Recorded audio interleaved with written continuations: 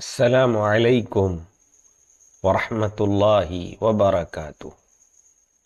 الحمد لله رب العالمين. وصلى الله وسلم على نبي الله الكريم وعلى آله وأصحابه أجمعين. أما بعد أعيذ قرنيك خارطة الطريق. رأيك. تماري الرأي كبار میں تمہیں کیا موقف اختیار کرنا چاہیے؟ آدمی کبھی اپنی رائے پر بڑا فریفتہ ہوتا ہے اور اس کو منوانے کی پوری کوشش کرتا ہے۔ اس سلسلے میں اس کی بحث بھی ہوتی ہے، کبھی نوک جھوک بھی ہو جاتی ہے، کبھی بڑا اختلاف بھی ہو جاتا ہے۔ اللہ تعالی محفوظ رکھے۔ لئی سب ضرورتی کا یہ لازمی نہیں ہے کہ لوگ تمہاری رائے سے مطمئن ہوں۔ فلست علی الناس بمسیطر تم لوگوں پر داروغہ نہیں ہو، نگراں نہیں ہو کہ تم ان پر اپنی رائے تھوپو۔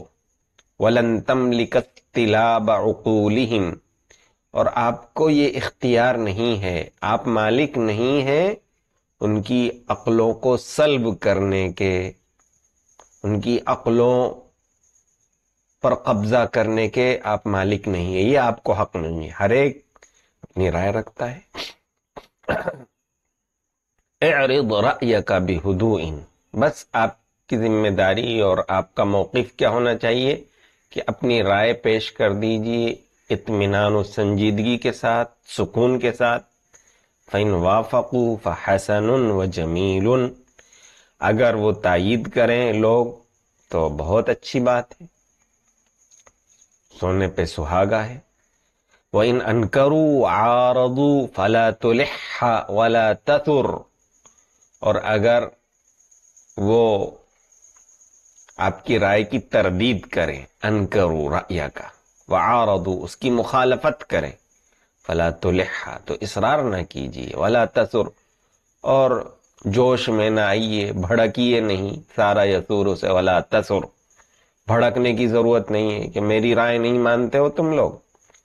فلست بوکیل على ذریت آدم تغیر افکارهم وترغمهم على قبول رأیک کیونکہ آپ مسلط نہیں ہیں۔ آدم کے بیٹوں پر کہ ان کی رائے کو بدلنے کا کام لیں۔ وہ ترغی مہم اور ان کو مجبور کریں اپنی رائے کو قبول کر تمہاری رائے کو قبول کرنے پر۔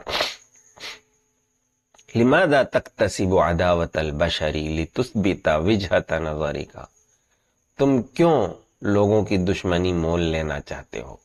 اپنے نظریے کو ثابت کرنے کے لیے۔ وجہت النظر، نقطۂ نظر کو کہتے ہیں۔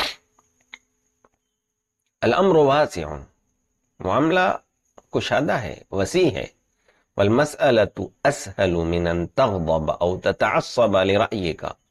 اور بات اس سے زیادہ آسان ہے کہ آپ اس کے لیے غصہ ہوں اور عصبیت اور جانبداری لیں آپ اپنی رائے کے بارے میں جانبدار بنیں، متعصب ہوں۔ یا متحمس ہوں، اس کی ضرورت نہیں ہے۔ اہدا پرسکون رہی ہے۔ غیر مجر الحدیث۔ اور بات کا رخ بدل دیجیے اگر کوئی اختلاف کا موقع آ جائے تو۔ اذا تصلب صاحبوں کا جب تمہارا ساتھی سخت ہو جائے اور وہ بھی شدت پر آ جائے۔ فَإِنَّكَ بِهَذِهِ الطَّرِيقَةِ تُحْسِنُ التصرف۔